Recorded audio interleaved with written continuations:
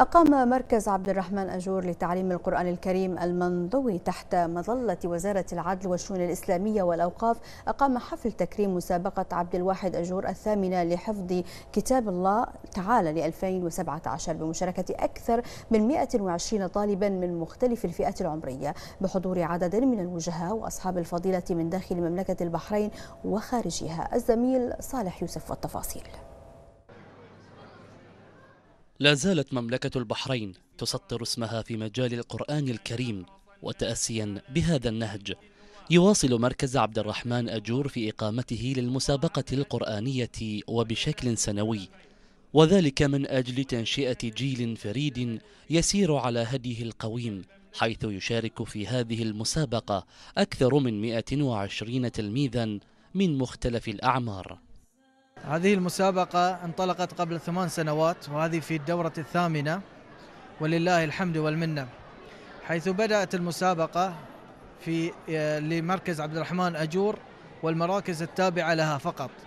ثم تطور المسابقة تطورت المسابقة إلى أن صارت استهدفت جميع أبناء مدينة حمد وجميع المراكز في مدينة حمد.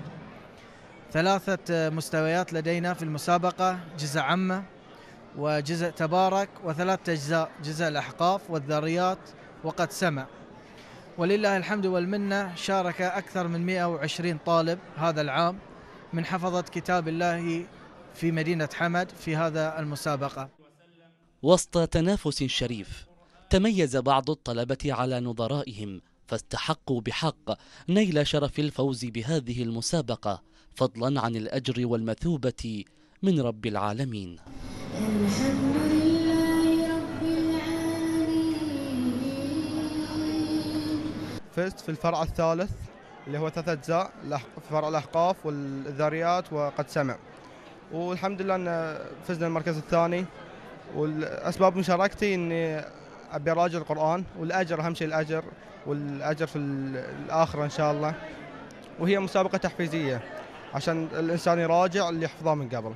شاركت عشان أحفظ القرآن وعشان أحصل الأجر وعشان يوم القيامة ألبس أبوي وأمي تاج الوقر تميز عرفته هذه المسابقة في نسختها الثامنة فقد شهدت مشاركة من قبل أولياء الأمور وتكريم المعلمين الذين أفنوا أوقاتهم في نقل مناهي لهذا الكتاب لغيرهم من الفتية والشباب. هنا تلألأ الذكر الحكيم فاستنشق شذاه فتية حفظه قال فيهم المولى تعالى إنا نحن نزلنا الذكر وإنا له لحافظون. لتلفزيون البحرين صالح يوسف.